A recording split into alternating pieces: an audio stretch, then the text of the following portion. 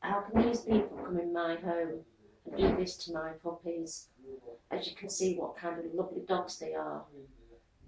How can they do this to us? They've ruined our lives, but we've got to carry on. But it's what these puppies are going through now. It's changed them. It's changed us. And what happened? Uh, what did you see happening to them? They were stabbed with a silver object in front of me